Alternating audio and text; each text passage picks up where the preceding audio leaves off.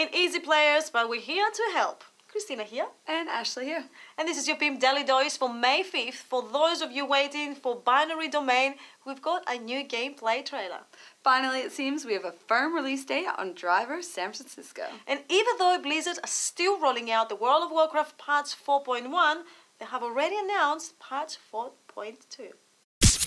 Earlier this week, Sega released the first gameplay trailer introducing the storyline for the immersive and atmospheric squad based shooter Binary Domain.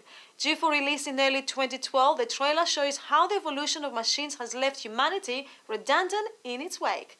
In the heat of battle, players must motivate and build trust with a team, adapt under pressure, and make real time decisions, knowing there will always be consequences that affect the squad and future missions. Humans must regain control of 2080 Tokyo and give the machines an unexpected ending.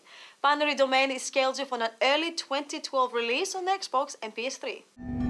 The Amada Corporation created machines to serve us, but they evolved, becoming ever more human. Secretly given ego and emotion, these hollow children began to infiltrate every level of society. Just another step in the evolutionary chain. We have to work together. Somebody has to stop them. Let's go!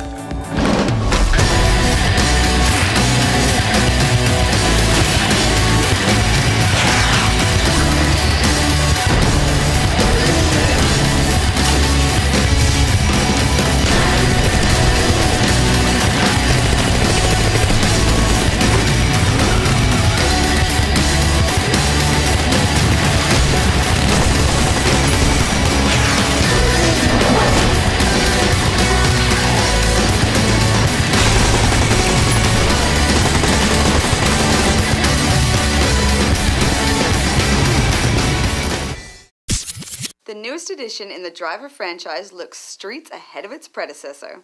Picking up off from Driver 3, the baddie in this one, Jericho, is on his way to jail, but his buddies break him out. He escapes in a police van, and Tanner, that's you, has to chase him down. And so begins the joyride fun. After a number of non starters, Driver San Francisco looks set to release late August. You're gonna have to let this go, man. You heard it yourself. Jericho's going down today.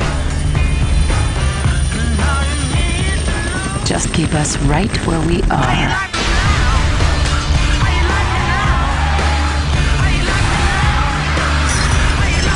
Come on, man. Drive, drive!